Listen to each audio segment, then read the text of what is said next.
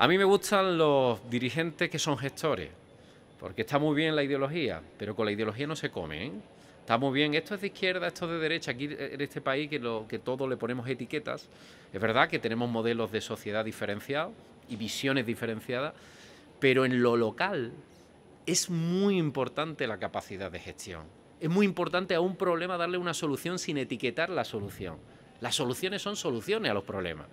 Y por eso José Luis representa ese modelo de gestión, un modelo de gestión abierto, un modelo de gestión con experiencia y un modelo de gestión basado en la capacidad y en la planificación que él ha ido haciendo a lo largo del último año, como he dicho, escuchando de una manera serena y atenta a colectivos, asociaciones y vecinos.